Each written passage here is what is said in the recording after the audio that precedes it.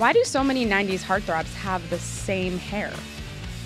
Thick, shiny, messy but not too messy, long but not too long, and often parted down the middle. It almost always signaled the character was playing someone different a rebel, a renegade, a hero.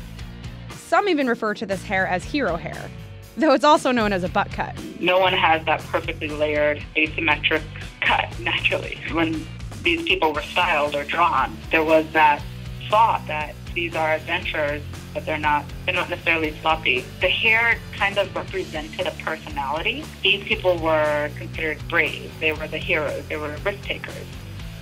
Of course, the hair was attractive to kids.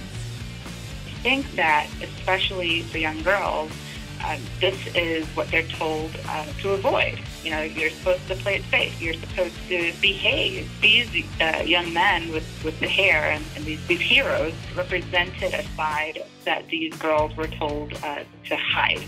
The style was a favorite of Disney, as evidenced by the male leads that debuted around this time.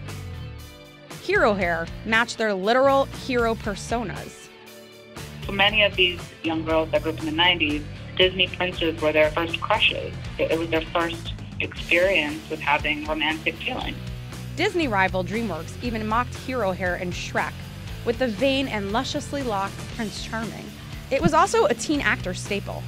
If the guy was cute, young, and white, you can bet he had the do. Slightly older actors had hero hair too particularly when their characters were outside the mainstream. That was a time when like Kurt Cobain and alternative music came into play, and, and I think that it was considered cool to be different and to, to question things and to be that type of hero.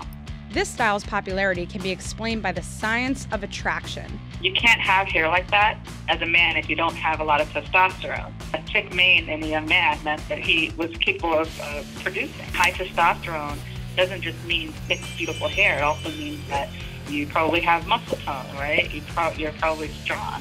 Today, Hollywood hairstyles are way more varied. But those 90s boys will always hold a special place in our hearts.